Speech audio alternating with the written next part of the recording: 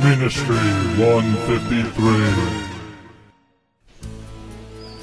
When they stepped ashore, they saw a fire of burning coals with a fish on it, and some bread. Yeshua said to them, Bring some of the fish you have just caught. Shimon Kepha went up and dragged the net ashore. It was full of fish, 153 of them. But even with so many, the net wasn't torn. Did you ever wonder why there were 153 fish? Ministry 153 will teach you why in this and other powerful five minute teachings. The Bible is a Jewish book, the Old Testament and the New. To understand the New Testament, one must understand the 153 fish and feed my lambs.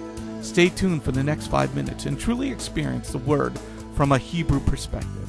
Ministry 153 is a part of Beth Goyim International Messianic Ministry.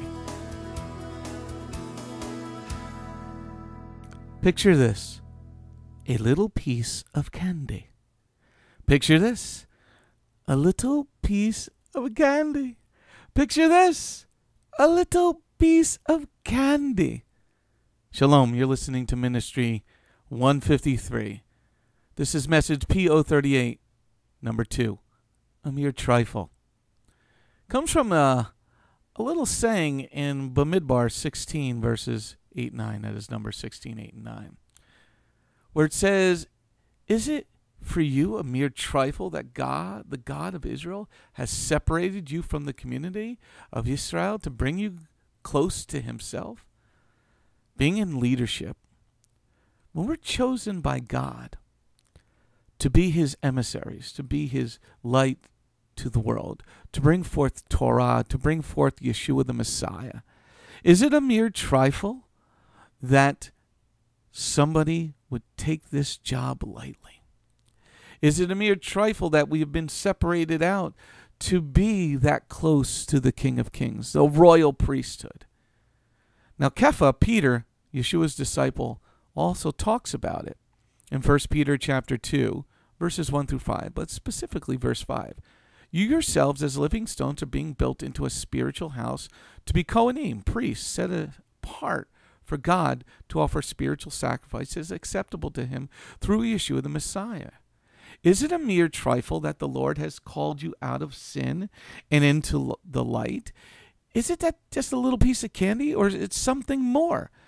And when we don't honor that calling, when we don't honor that blessing, when we don't honor it with every aspect of our life, we make it a mere trifle. That oh yes, we've been called to be a, a mere trifle.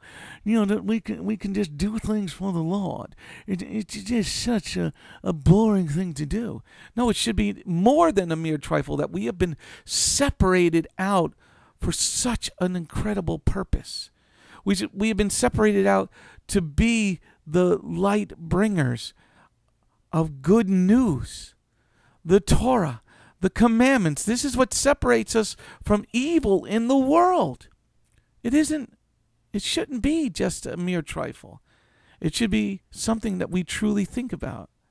So, today in this devotional, what I would like you to think of before we close is your life just a mere trifle, or should you be doing more for the King of Kings? Is your salvation just a mere trifle to you, or should you really try to repack God for what he's given you? Is it a mere trifle? Shalom, this is Messianic Rabbi Andrew Dinnerman. I would personally like to thank you for tuning in to the Remnant's Call each and every week.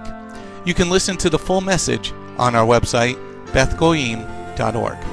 If you have drawn closer to the King of Kings, learned more about him today, we are blessed. If you are blessed by these messages, please consider a donation to our ministry. You can go to our website, bethgoyim.org. That's B E T H G O Y I M.org and click on the donate button. You do not have to have a PayPal account to donate. All you need is a debit card. Once again, thank you very much for listening to The Remnants Call.